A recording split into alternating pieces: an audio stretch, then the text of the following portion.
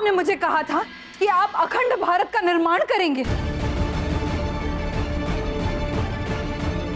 मेरे चंद्र में आपको भावी सम्राट की छवि दिखाई देती। इसी कारण मेरे सामने होते हुए मैं उसे सत्य नहीं बता पाई। बारह वर्ष से प्यासी मेरी ममता, मौन रही। एक माँ होते हुए वीरभद्र की माँ की कोक उजड़ती, देखती रही। ताकि आपका कथित भावी सम्राट मेरा चंद्र उस महल से सुरक्षित बाहर निकल पाए। परंतु आपने स्वयं उसे उसी धनानंद के पास भेजा। आचार्य!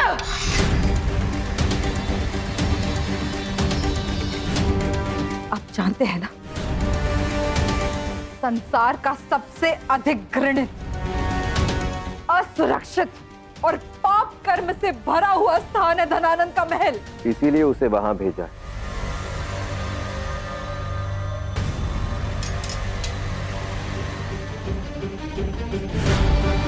और अब जब आपकी भेंट आपके पुत्र से हो ही चुकी है तो आपको भली भांति समझ में आ गया होगा कि आपके लिए कितना विष है चंद्रगुप्त के हृदय में।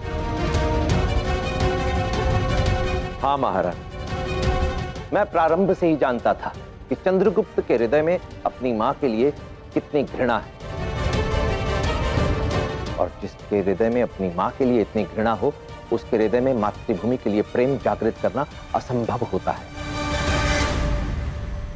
परंतु जब वो उस महल में रहने लगेगा तो उसकी घृणा का केंद्र बिंदु उसकी माँ नहीं रहेगी। अपितु उस महल में रहने वाला अत्याचारी शासक धनानंद बन जाएगा।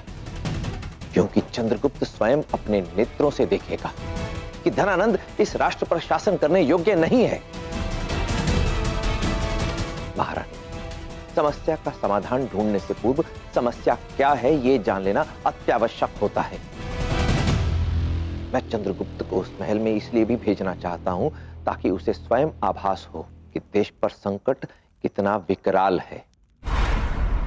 तलवार की धार को तीक्ष्ण करने के लिए उसे निरंतर पाषाण पर घिसना ही पड़ता है। मैंने आपसे पहले ही कहा था, महारानी, मेरे इस लक्ष्य की प्राप्ति बलिदान मांगेगी। अखंड भारत के इस महायज्ञ में आहुतियाँ दी जाएँगी और इसी में से एक आहुति होगी आपकी ममता की। दिन रात सोते जागते आपके नेत्रों के समक्ष आपका पुत्र इन संकटों से जूझेगा। और आपको यह सब स्वीकार करना होगा। इस बलिदान का एक भाग मानकर।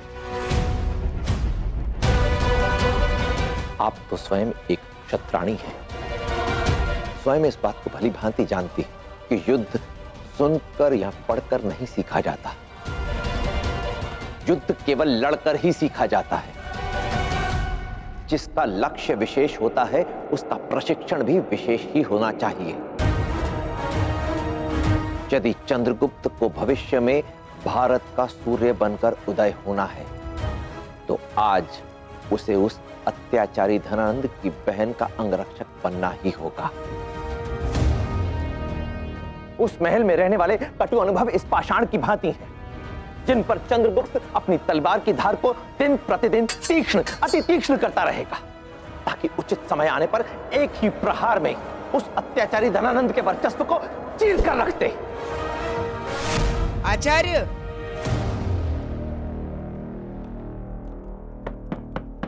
आचार्य दरवाज़ा खोलिए।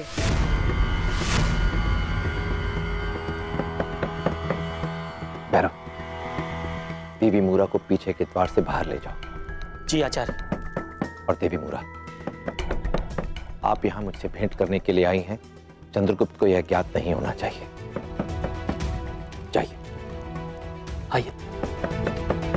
आचार्य दरवाज़ा खोलिए।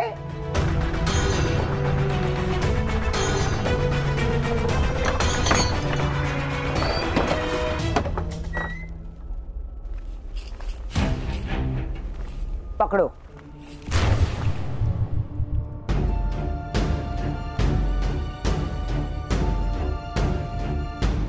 दो हज़ार पन देकर खरीदा था ना मुझे आपने? दीजिए। चार हज़ार पन लुब्धक को दिए हुए मूल्य का दुगना। अब मैंने आपका ऋण चुका दिया। इसलिए अब मैं आपकी किसी भी बात को मानने के लिए बाध्य नहीं हूँ। अब से मेरा केवल एक ही स्वामी, जिसका नाम है सम्राट धनानंद।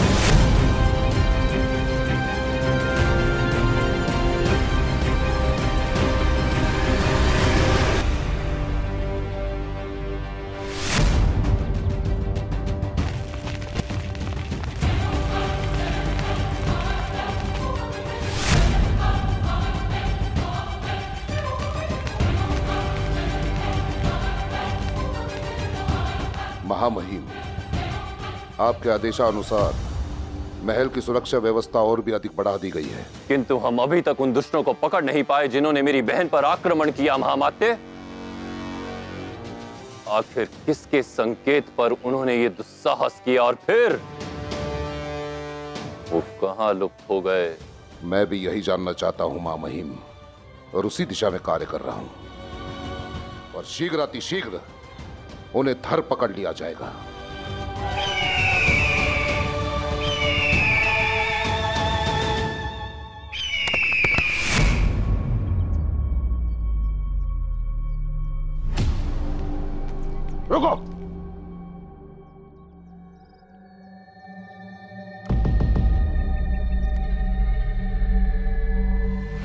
सोचिए माँ महिम कि चील ने अजगर पर आक्रमण क्यों किया होगा?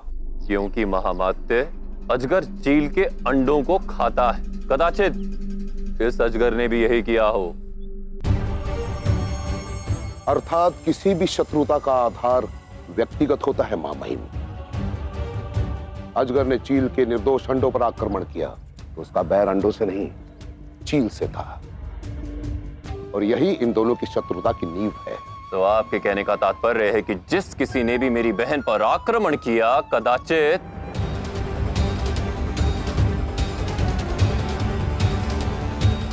वो मुझसे कोई व्यक्तिगत शत्रुता रखता हो। है ना? कदाचित आपका कथन सत्य है माँ महिम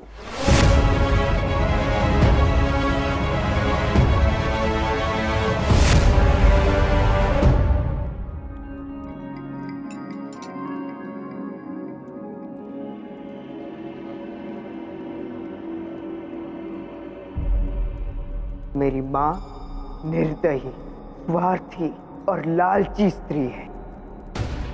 मेरी माँ ने कुछ पनों के लालच के लिए मुझे मेरी माँ ने शिकारी को बेच दिया। एक बार उनसे मिलना चाहता हूँ, ताकि उनकी आँखों में आँखें डालकर ये बता सकूँ कि उनका ये पुत्र अपनी माँ से कितनी घृणा करता है। बुरा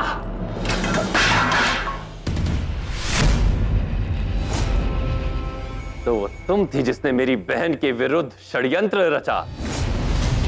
मैंने तुम्हारे पुत्र को मारा तो उसका प्रतिकार लेने के लिए तुमने मेरी बहन पर आक्रमण करवाया। इतनी घृणा करती हूँ तुमसे। यदि अवसर मिला तो धुरधरा पर आक्रमण करके अपना समय व्यर्थ नहीं करती। सीधी तलवार तुम्हारे हृदय के आर पार कर देती। किंतु ये भी मेरे लिए एक आनंद की बात है कि और भी ऐसे लोग हैं जो तुमसे घृणा करते हैं। तुम्हें आहत करना चाहते हैं। और ये तो और भी प्रसन्नता की बात है कि तुम्हें अनुमान ही नहीं कि वो लोग कौन है। कदाचित वो ऐसे सांप हैं जिन्होंने अपनी केंचुली उतारी ही नहीं। कदाचित उन्हें पहचानना तुम्हारे लिए अत्यंत कठिन हो। कदाचित मित्र के वेश में तुम्हारे पास ही खड़े हो। सियासत में जब तक मकसद एक हो, हाथ एक होते मकसद अलग तो दोस्त अलग। मैं दुआ करता हूँ कि हम दोनों का मकसद हमेशा एक हो, ताकि इस्तकबाल में उठी शमशीर चीरने को ना झुके।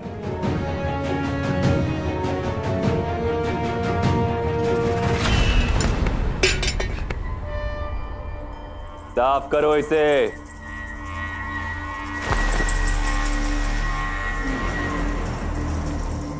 संदेह की एक छोटी सी चिंगारी पूरे साम्राज्य को जलाकर राख करने के लिए पर्याप्त होती है धनानंद।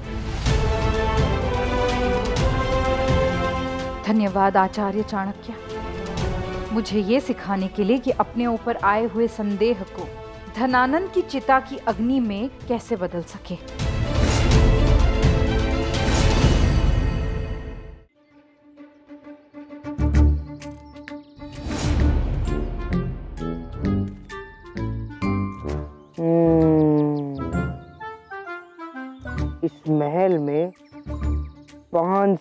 भी अधिक कक्ष है।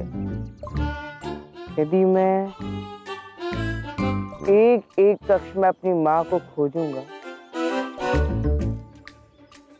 तो डेढ़ वर्ष से भी अधिक समय लग जाएगा मुझे।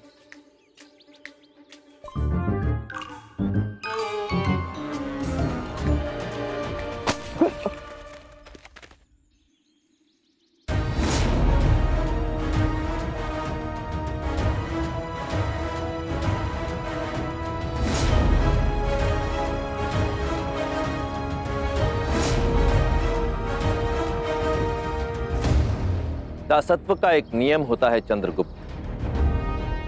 ऋण मुक्त होने के लिए मूल्य खरीदार की इच्छा अनुसार चुकाना पड़ता है। और मैंने तुम्हें लुब्धक से इसलिए मुक्त नहीं करवाया था कि मुझे धन का लोभ था। मैं तो तुमसे अपना एक विशेष कार्य करवाना चाहता था। अब मुझे आपसे बचने का केवल एक ही उपाय समझ में आ रहा है। कि मैं सम्राट धनानंद को बता दूँ कि आपके छिपने का स्थान कहाँ है हम्म। इससे मुझे मेरा पुरस्कार भी मिल जाएगा और आपसे मुक्ति भी हम्म।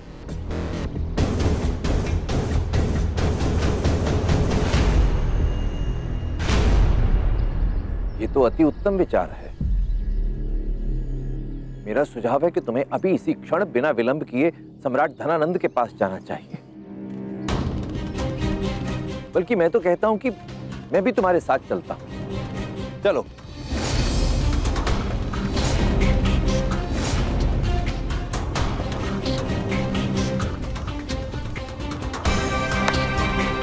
प्रणाम।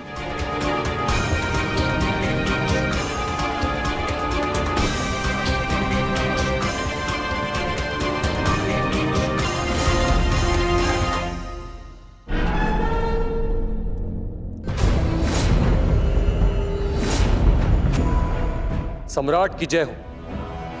आपकी भेंट के बदले यवन सेलुकस की ओर से यह भेंट आई। और एक संदेश भी कि आपके द्वारा उपहार में भेजी गई सभी दासियों को अपनी सेवा में रखकर सेलुकस हर्षित है।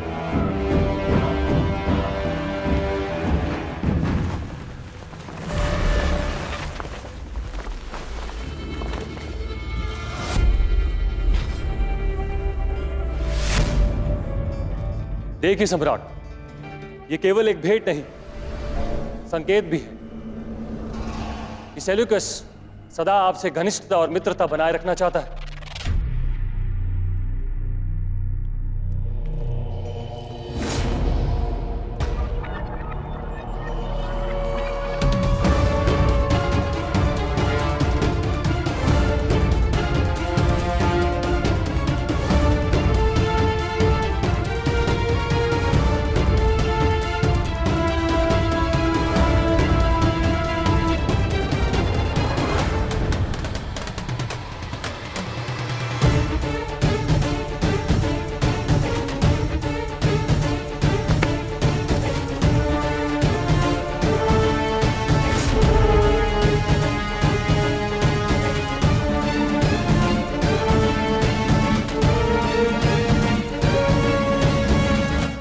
कदाचित वो ऐसे सांप हैं जिन्होंने अपनी केंचुली उतारी ही नहीं।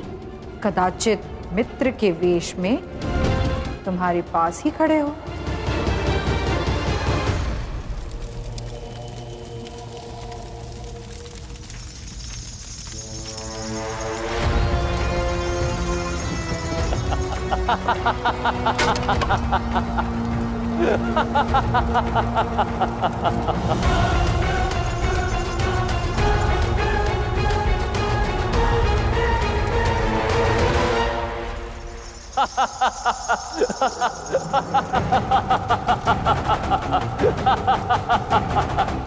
महामहिम ये क्या? भविष्य में सेलुकस के साथ कई संधियों के बारे में विचार किया हमने।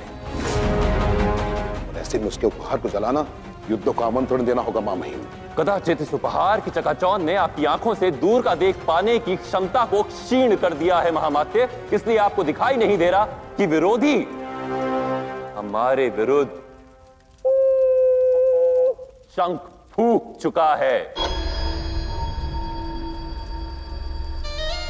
मेरी बहन पर आक्रमण कर शत्रुओं ने अपनी चाल चल दी। अब मैं चलूँगा अपनी चाल। हमें सचेत रहना होगा, महामात्य। शत्रु कोई भी हो सकता है। सेल्यूकस भी अंततः इस धरा पर शासन करने का ही तो स्वप्न देखा था ना उसने। हो सकता है मित्र के वेश में वही हमारा शत्रु हो। अपने गुप्तचरों को चौकन्ना कीजिए, महामात्य, और पता लगाइए कि उस सेल्यूकस के मन में और उसके सैन्य शिविरों में आखिर चल क्या रहा है। निश्चिंत रहिए महामहिम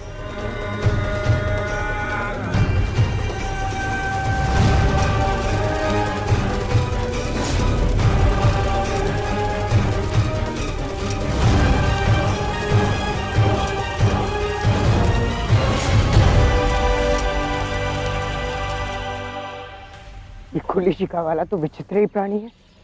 मेरे किसी भी धमके का प्रभाव ही नहीं पड़ा उस अब जब मैं सम्राट को उसके छिपने का स्थान बता दूँगा तो फिर उसके साथ जो भी हो, उसका उत्तरदायी मैं नहीं होऊँगा।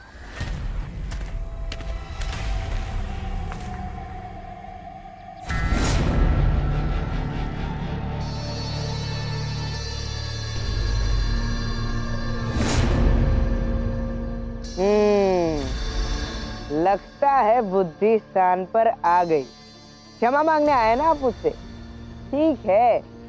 नहीं बताऊँगा आपके छिपने का स्थान सम्राट को। किंतु एक शर्त है। आप भविष्य में मेरा मार्ग ना काटे तो श्रेष्ठ होगा। मैंने आपको जो धन दिया है से जाकर यात्रा कीजिए और भारत का कोई नया भावी सम्राट ढूंढ लीजिए। विदा। मैं यहाँ तुमसे विदा लेने नहीं आया, चंद्रगुप्त।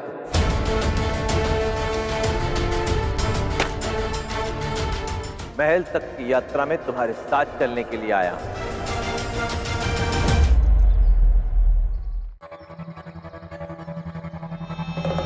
मुझे भी सम्राट तक एक महत्वपूर्ण सूचना पहुंचानी है।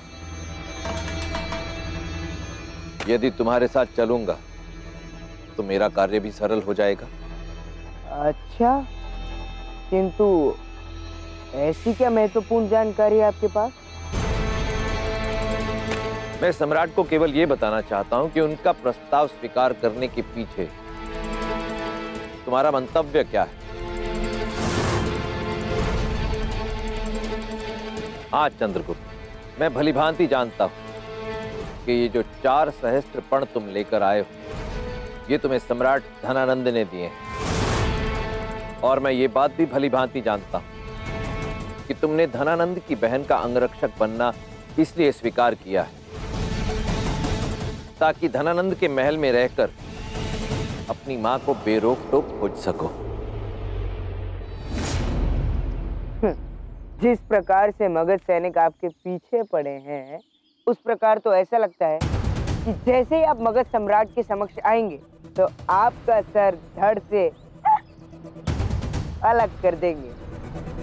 परंतु यदि मेरा लक्ष्य पूर्ण नहीं हुआ तो वैसे भी इस जीवन का कोई लाभ नहीं। और यदि मैं नहीं भी रहा तो भी कुछ ऐसे लोग भी हैं जो तुम्हारा ये सत्य धनानंद तक पहुँचा सकते हैं। अच्छा और कौन है वो लोग? वो देखो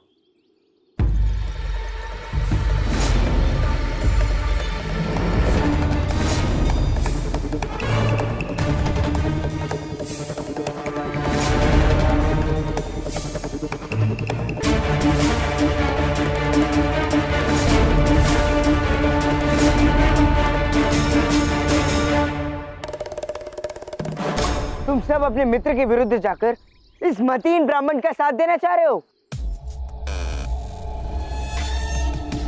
इन सब का मौन रहना तुम्हें बता रहा है कि ये क्या करेंगे। यदि तुम मेरे ऋण से मुक्त होना चाहते हो तो तुम्हें मुझे धनानंद के महल में हो रही सभी गतिविधियों की सूचना देनी होगी। तुम प्रतिदिन अपने दायित्वों से निवृत्त होकर जब राजमहल से लौटोगे तो मुझे विस्तार से वहाँ की प्रत्येक घटना की जानकारी दोगे। और हाँ, हर रात मैं तुम्हें कुछ कार्य भी दूँगा जिसे तुम्हें करना होगा। अब ये तुम पर निर्भर करता है चंद्रगुप्त। तुम मुझे सूचना देकर ऋण मुक्त होना चाहते हो या अपना भेद धनानंद के सामने उजागर करवा के अपने प्राण देना चाहते हो?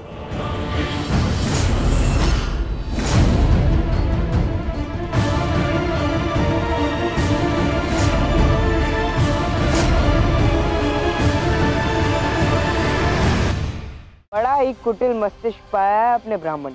मैं, मेरे मित्र और यहाँ तक कि सम्राट धनानंद को भी पटक नहीं देती कुछ समय अवश्य लगेगा और उसके पश्चात चंद्र का तेजस्वी प्रकाश कुशासन का अंधकार मिटा देगा